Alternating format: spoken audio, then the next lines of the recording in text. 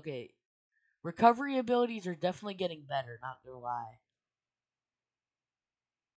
Pre jumping. Wait, hold on.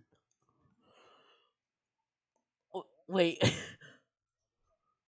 oh, clipping that that pre jump though.